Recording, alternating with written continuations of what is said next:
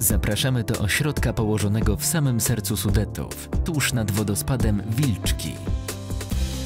Rodzinny obiekt zaprasza do korzystania ze swoich pokoi.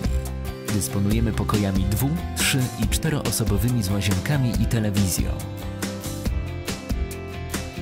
W naszej restauracji serwujemy pyszne dania kuchni tradycyjnej, które zadowolą każde podniebienie. Specjalnością szefa kuchni jest gulasz z dziczyzny z białą ekologiczną kaszą gryczaną oraz pyszne pierogi. W letnie dni zapraszamy do naszego ogródka piwnego oraz grilla, gdzie czeka na Państwa pyszny pstrąg.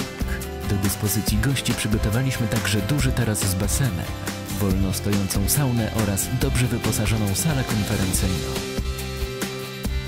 Zapraszamy Państwa do naszego ośrodka w Międzygórzu, który położony jest nad samym wodospadem Wilczki.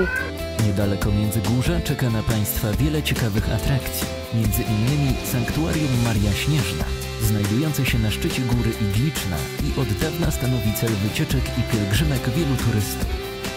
Warto zobaczyć także zaporę przeciwpowodziową, wzniesioną na początku XX wieku.